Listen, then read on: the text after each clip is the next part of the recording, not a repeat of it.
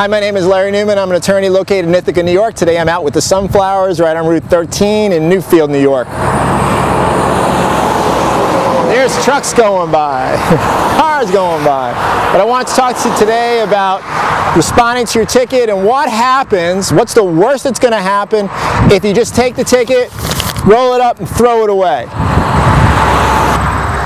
So if you don't respond to the ticket at all, you just take it, roll it up, throw the ticket away, what's going to happen? What's the worst is going to happen? The worst going to happen is the court's going to then send a letter to our New York State Department of Motor Vehicles. Now, even if you have a license out in New Jersey or Ohio, eventually it's going to get back that you're suspended in New York State.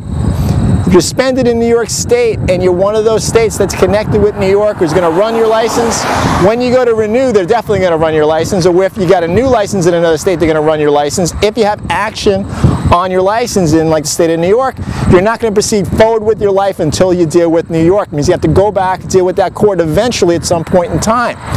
Your license will be suspended or remain suspended until you do something to unsuspend it. You have to go back, deal with the ticket, then pay a suspension lift fee on top of that.